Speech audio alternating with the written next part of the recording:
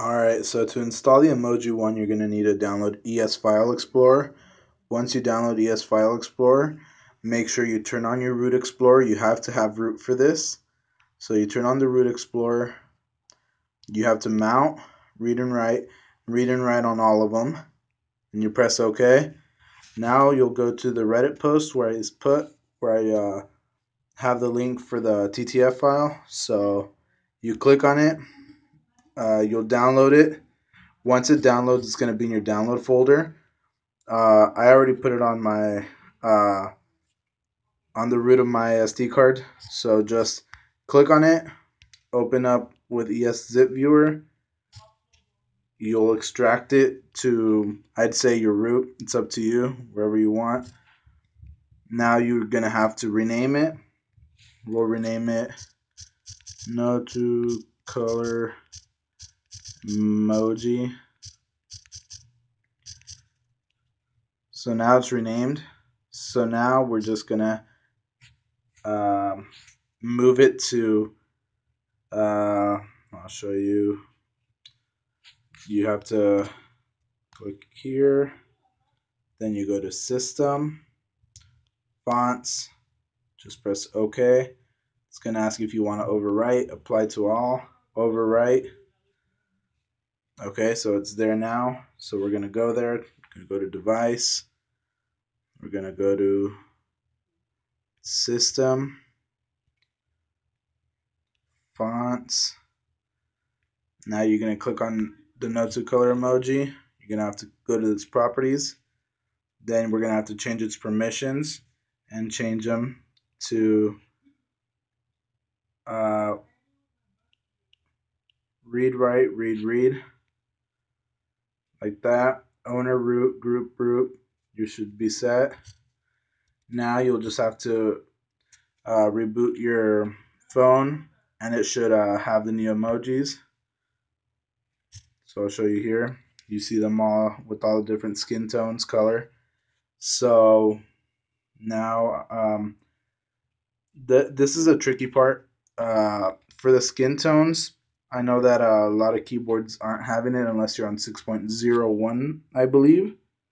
But uh, Google Keyboard, even on 5.1.1, which I have right now, which is on the OnePlus 2, you're able to see all the emojis.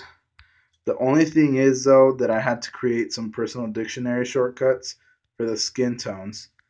So as you see, I have to type in skin two, and then I'm able to change the skin.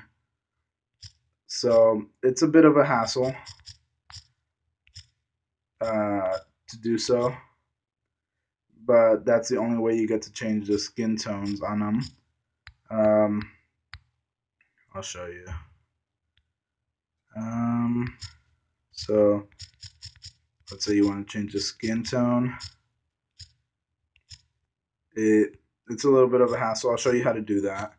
So we'll go to I download user dictionary plus and I did it from there. So what I did is uh, manage user dictionary for all languages and then uh, I added them through this website. So we'll go to